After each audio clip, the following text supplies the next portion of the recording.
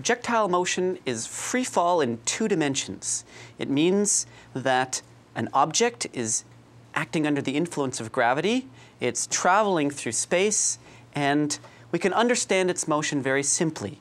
The acceleration of gravity is down and it's constant. So the equations that we have to work with are the one-dimensional equations of motion in the x direction and in the y direction separately. That's the beautiful thing about two-dimensional motion is you can always think about it as what's going on in the x world and what's going on in the y world. You can treat those separately. You use the same set of equations with the different constants that are appropriate and at the very end of the problem, if you know x final and y final, you know where the object is, you know its motion. So the key to projectile motion is to separate the problem into x and y. Let me show you a picture of projectile motion. Here's an object which was launched sideways. Looks like it had a slightly downward initial velocity, and it's following some kind of a projectile motion. And let's just think for a second about what is the velocity as a function of time? Not the position as a function of time, but the velocity. So look at the equations of motion. First, let's focus on the x equations of motion. Remember that if gravity is the only force, if acceleration is straight down, then the acceleration in the x direction is zero. So v final x equals v initial x. It never changes. You can see that with these little green components of the velocity vector. This is not the velocity, and neither is that. It's the sum of those two. This is the x component, that's the y component. So the velocity vector itself is always tangent to the curve, and you can see that its horizontal piece is never changing. A little counterintuitive, but absolutely correct physics. What about in the y direction? The y equation of motion for projectile for velocity is v final y is v initial y plus acceleration in the y direction times time. Acceleration in the y direction, I'm calling down positive, is plus 9.8 meters per second squared. So velocity in the y direction is increasing linearly with time. If you double the time, your velocity is twice as much. The way I think about it is acceleration is change in velocity with time, 9.8 meters per second per second. So each second, my downward velocity is 9.8 meters per second more in this direction than it was the second before. You can see that. It started off small, it's getting bigger and bigger. What about the speed as a function of time? We haven't talked about that explicitly. Speed is the magnitude of velocity. It's the length of the total vector. It would be by the Pythagorean theorem, the square root of vx squared plus vy squared. It's clearly getting bigger and bigger because this component's constant and that component's getting bigger. That makes sense. A falling object is getting going faster and faster if it starts off nearly horizontal. And uh, you can just see it pictorially. Let's ask ourselves, are we set up to solve the most general problem. I mean, have we really finished the story in two dimensions? It's fairly impressive, but we really have. All you need is those one-dimensional equations, and you can solve any problem that you want with constant acceleration, and in particular, any free fall problem.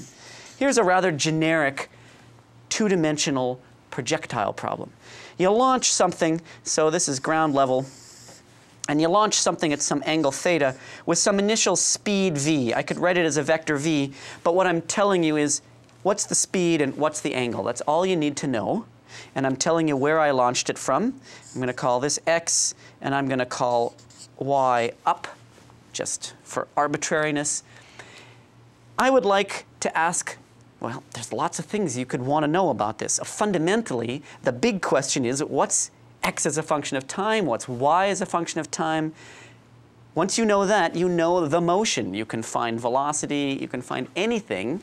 So it's a little bit imposing to have such a generic problem. Let me make it specific.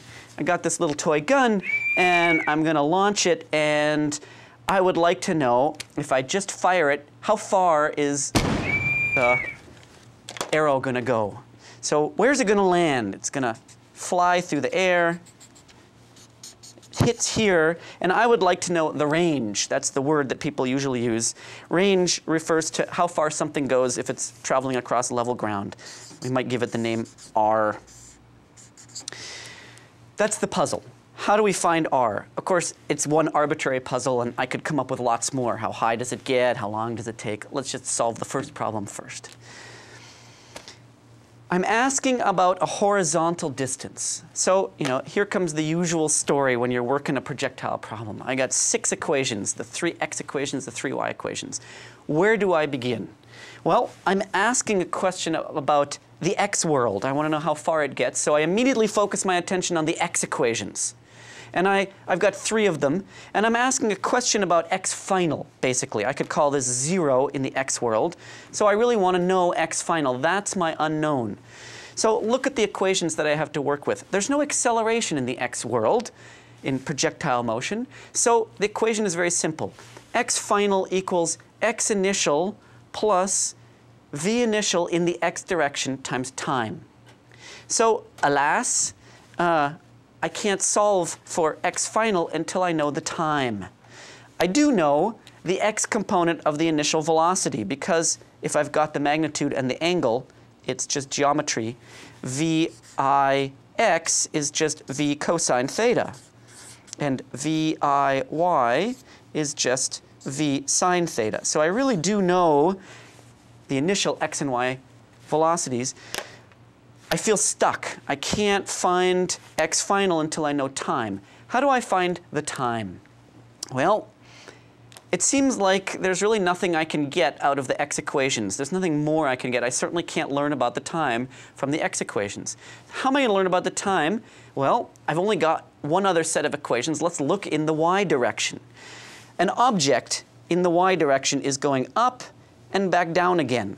Right? Its x motion is independent of its y motion, so as it travels along this path, it's just climbing up and falling back down again. And I want to know the time when it gets back down to the ground. So what information is that? When it hits the ground is basically saying y final is zero y initial is 0, y final is 0. So I jump to the equation y final equals y initial plus v initial y times time, I know v initial y, plus 1 half a in the y direction times time squared.